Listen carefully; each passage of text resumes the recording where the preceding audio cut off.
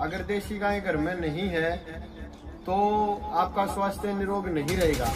रुद्रनाथ बहुत अच्छा नंदी है उसके रिज़ल्ट बहुत अच्छे आते हैं। सात से आठ हज़ार सीमन देसी गायों के फ्री उपलब्ध करवाते हैं। ये तो प्रेम की बुक्की है देखो। ये पंद्रह लीटर दूध देती है नमस्कार दोस्तों मैं अभिषेक शर्मा स्वागत करता हूँ।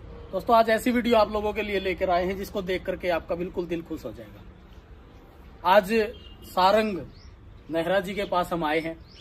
जो हरियाणवी जो गाय है, जो देसी नस्ल की गाय है, उसके ऊपर इतना अच्छा और सराहनीय कार्य कर रहे हैं, जिसको देख करके आप लोगों को भी ऐसा लगेगा कि ऐसा अद्भुत कार्य अगर हरियाणा वासी प्रत्येक व्यक्ति के दिल में ऐसी गाय के प्रति भावना, सेवा भाव होने लग जाए तो हरियाणा नस्ल की जो गाय है विश्व में प्रसिद्ध हो जाएँगी।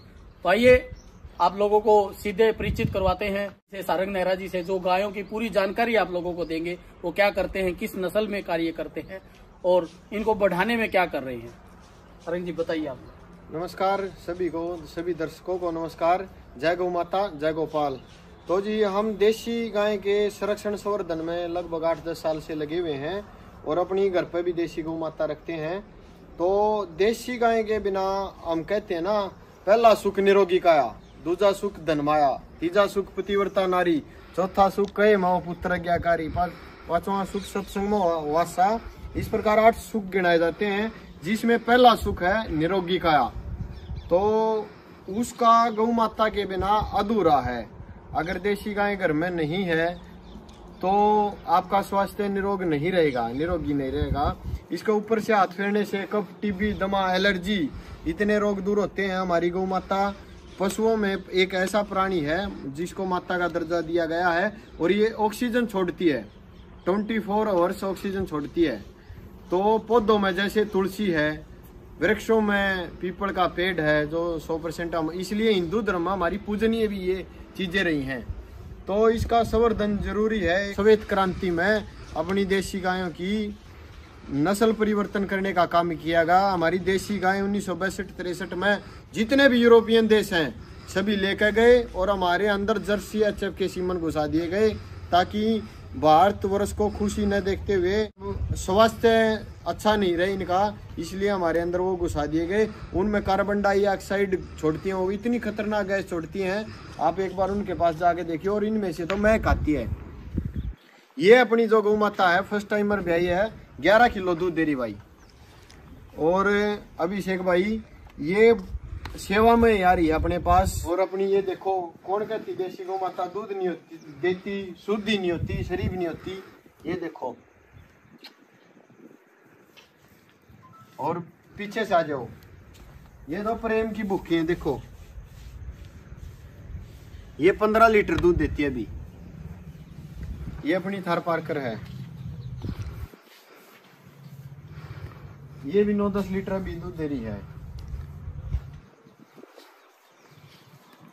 और ये भी अपनी थार की बेटी है। बीस आठ सौ इकतालीस की बेटी है। और खरखड़ा गाँव में रानी है। भैंस वैसे भारती। रानी की, गाय की बेटी है खरखड़ा गाँव में, सुरेश भाई के पास है। अब ये केदार से डायरेक्ट मीटिंग है के जी एस जी के पुल से। और ये अपनी गाय है भाई, इतनी हाइट की अभिषेक भाई, आपको गाय नहीं मिलेगी।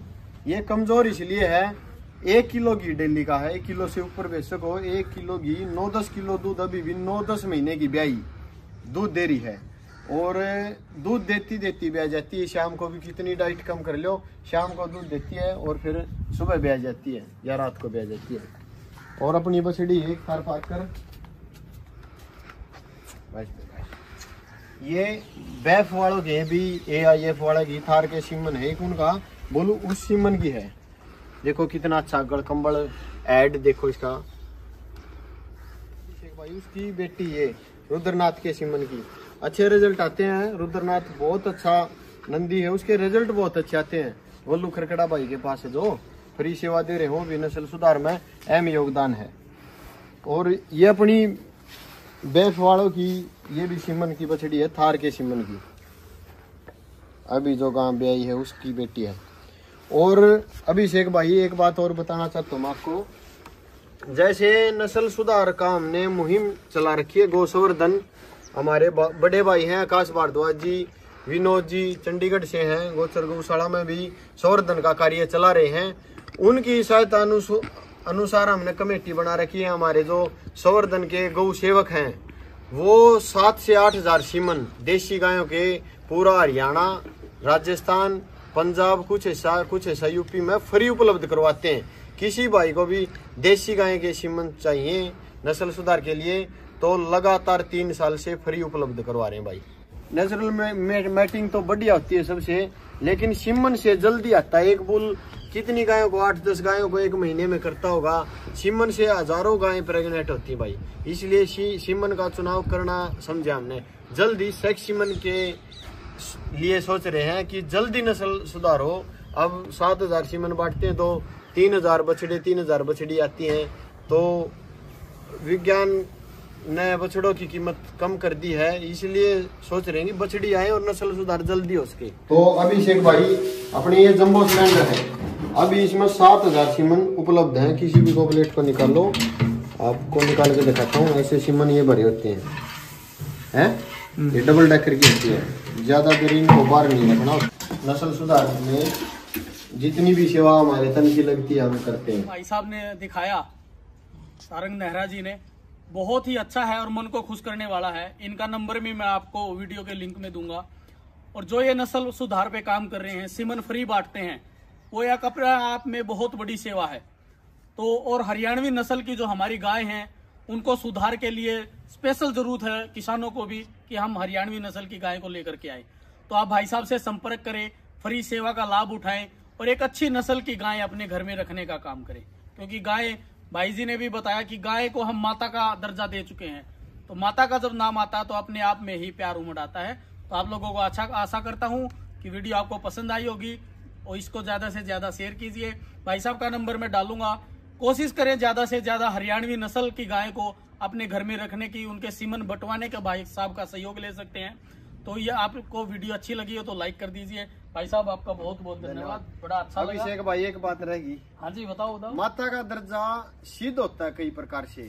जैसे बताया हमारे विद्वानों ने भाई माँ दूध नहीं पिलाती तब बच्चे को तब डॉक्टर क्या कहते हैं देसी गाय का दूध पिलाओ वो पचेगा। हर प्रकार से। माँ सिद्ध हुई है हमारे लिए अपने बेटे को भी इन्होंने वर्षों वर्षों तक हमें दिया खेती करने के लिए। देखो कितना कमाया इन्होंने। हमारे बुज़ुर्गों ने आज हम हैं तो इनके बैलों की बेटों की वजह से इसलिए हमारी माँ है।